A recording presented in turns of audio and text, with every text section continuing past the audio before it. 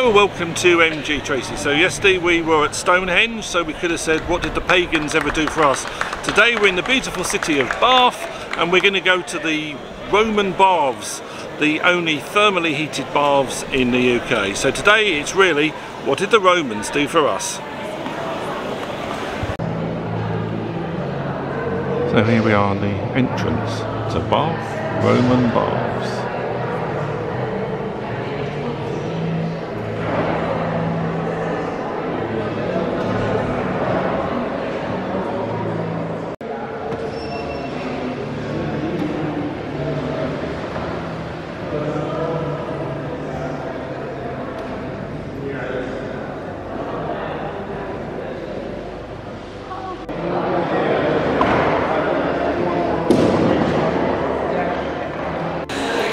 So I have a very personal reason for wanting to come to the Roman baths at Bath. During the Second World War, uh, my mum was working as a spy for the Americans based in South Wales, and she was earning about 10 times what my dad was at the time, but there was nothing to spend the money on, so she decided to buy herself a new car and she bought herself a little Austin.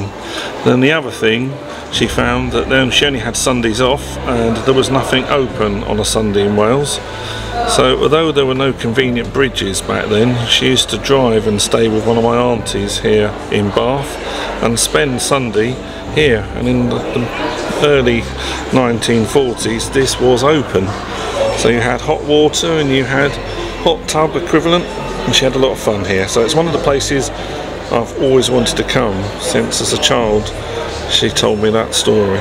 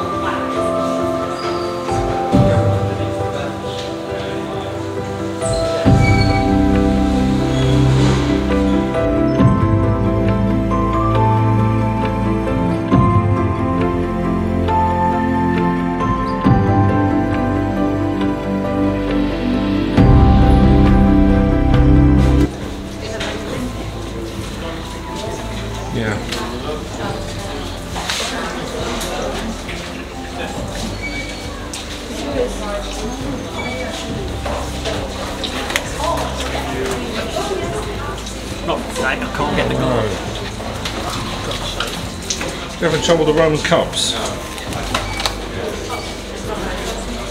It's alright, no one's noticed you picked you take six. Oh,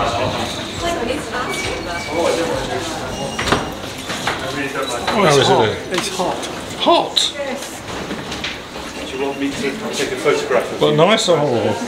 Not bad, but hot. bad. Not Not a bad. fan of hot water. No. It's horrible. So I hope you really enjoyed the Roman baths here in Bath. Have a fantastic day. Please like, share and subscribe and I'll see you in the next video. It's Paul from London, today in Bath.